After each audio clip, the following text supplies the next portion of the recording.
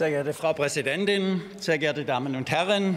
Seit ein Referentenentwurf zur Regulierung von Öl- und Gasheizungen an die Medien durchgestochen wurde, gehen die Gemüter hoch. Die Bild-Zeitung macht sogar eine Kampagne unter der Überschrift Habeck, Wohn Habecks Wohnhammer kostet uns 1000 Milliarden Euro. Dass sich die CDU-CSU versucht, mit einer Aktuellen Stunde draufzusetzen, um aus der Stimmungsmache einige Stimmen abzukriegen, ist wenig verwunderlich.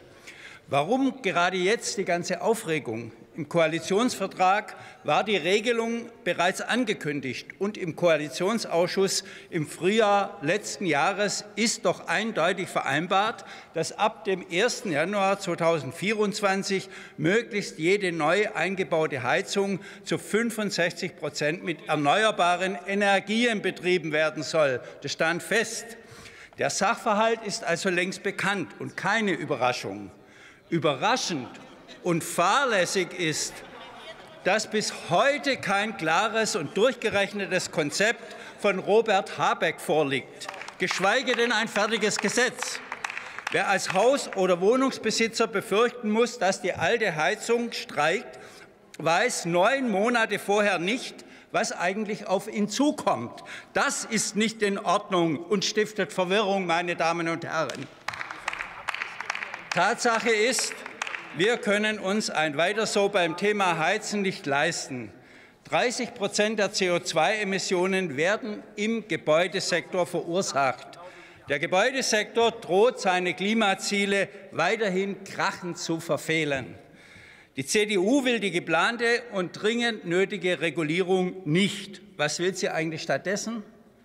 Irgendwie werden es die Einwohnerinnen und der Markt schon richten.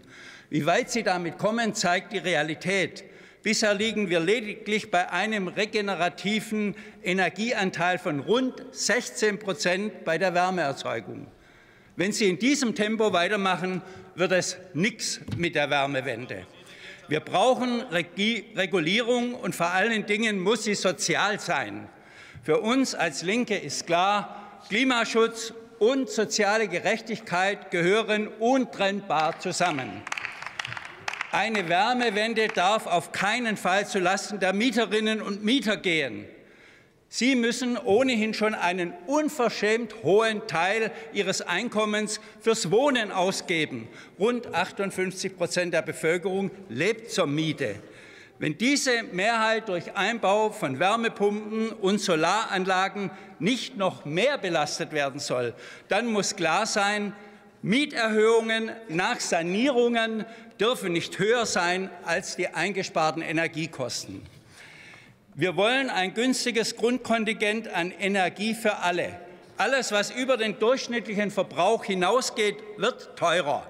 Damit werden sozial gerechte Anreize zum Energiesparen gesetzt. Es ist nicht die unteren oder die mittleren Einkommensgruppen, die am meisten Energie verbrauchen. Es sind die Menschen mit den höchsten Einkommen. Da trauen Sie sich aber nicht dran. Eine sozialökologische Wärmewende muss gesamtgesellschaftlich geplant und politisch gestaltet werden. Hierzu gehört vor allem eine umfassende kommunale Wärmeplanung. Das Potenzial von Sektorkopplung und Fernwärmenetzen ist noch lange nicht ausgeschöpft. Kommunen, Haus- und Wohnungsbesitzer müssen bei der Umstellung zum klimaneutralen Heizen organisatorisch und finanziell unterstützt werden. Die Bundesregierung darf die privaten Haushalte nicht im Stich lassen. Sie muss bürokratiearme Kredit- und Förderprogramme auflegen und die bestehenden nachbessern. Die wichtigen Fragen sind außerdem, wie kann der Hochlauf für die Produktion von Wärmepumpen und alternativen Heizungen organisiert werden? Wie können ausreichend Fachkräfte gewonnen, umgeschult und ausgebildet werden? Dazu braucht es eine aktive Arbeitsmarktpolitik und vor allem eine Aus- und Weiterbildungsoffensive. Bei den Investitionen muss geglotzt und darf nicht gekleckert werden. Da müssen SPD und Grüne mit dem Kassenwächter Christian Lindner ein ernstes Wort reden, wenn es nicht bei hehren Ankündigungen bleiben will. Wer wie die CDU von der Freiheit der mündigen Bürger redet, bringt einiges durcheinander. Es ist doch die Klimakatastrophe. Es sind doch hohe Energie- und Mietkosten. Es ist doch die Jagd nach Höchstprofiten der Energiekonzerne, die die Freiheit der meisten Menschen bedrohen.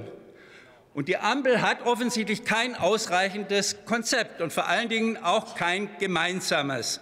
Egal, ob bei Gebäuden oder Verkehr, ist die Bilanz die gleiche. Klimaziele deutlich Herr verfehlt. Kollege, ich bin fertig. Das, das muss geändert werden. Das ist wirklich gut. Einen sinnvollen Beitrag das wäre auch vor Dazu kann ich nicht erkennen.